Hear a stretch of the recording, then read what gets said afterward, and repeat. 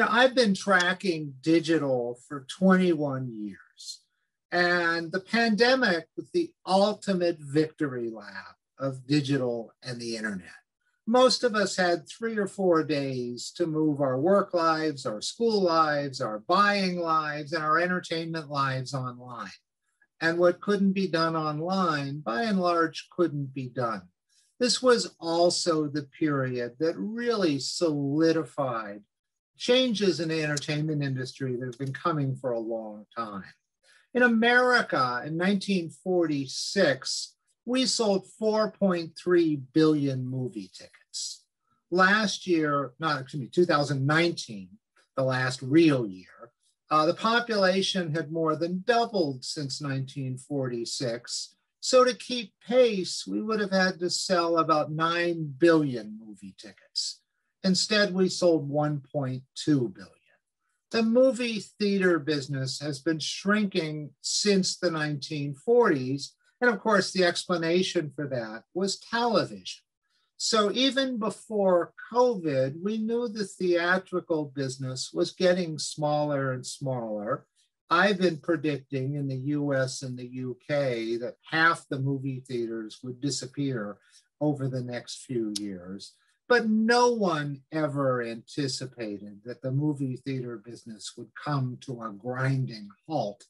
And it's still not clear it's ever going to return. I think it will, but it's going to be in a much smaller form.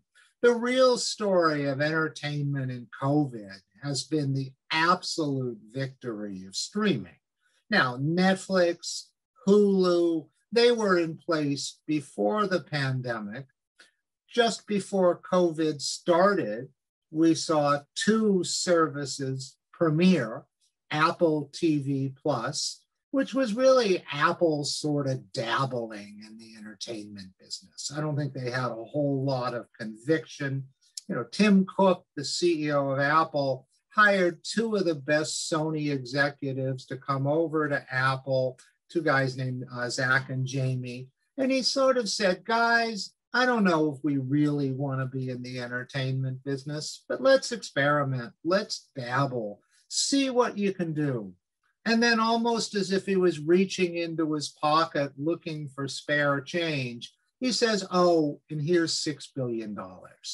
So Apple was sort of dabbling, uh, and Disney Plus. You know, Bob Iger at Disney had uh, he and all the other studios had contributed to the rise of Netflix. It was a great place to sell their old content and to make content for Netflix. And then they realized they were creating the biggest competitor they ever had. He was the first of the studio heads to stop selling to Netflix, announced shortly afterwards they were going to start their own service. And in November of 2019, Disney Plus and Apple TV Plus premiered. They took advantage of the pandemic but no one ever anticipated we were going to be sitting home all day with nothing but time. There wasn't enough new content on Apple TV Plus or even Disney Plus, but they did do pretty well. Netflix was what rose to the moment. They're $12 billion a year in original content, now $18 billion a year. They had the catalog, the breadth the dozens and dozens of programs that most people had not watched and could. You know, the silly joke I make is during the pandemic, we didn't mind if The Irishman was four and a half hours. We had the time. And Netflix came in, we, we had, you know, uh, absolute uh, cultural phenomenon coming out of Netflix, Tiger King, uh, The Queen's Gambit, and Netflix came out of the uh, COVID, is coming out of the COVID, the most powerful entertainment company in history. No one has ever had this much control over the movie and television business. And I think the first dollar or first pound anyone spends on entertainment goes to Netflix we now believe in America, people are going to subscribe to two and a half of these SVOD, subscription monthly services. during the pandemic, so we had Hulu and Netflix going in. We had Disney Plus and Apple TV Plus just as it began. During the pandemic, HBO converted to HBO Max with all of the Warner Brothers content. And uh, they're all now fighting for that two and a half. I think Netflix has a lock on the first 1.0. So the streaming wars are really going to be between Disney and HBO Warner. And now Paramount has just introduced their Paramount Plus.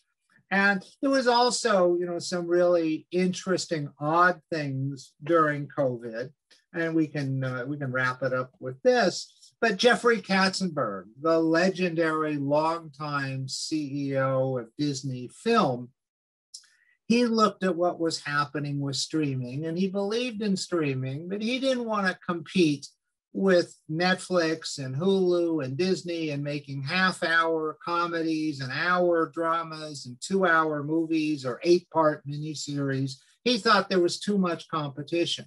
So he decided to reach out to young people, people on the go.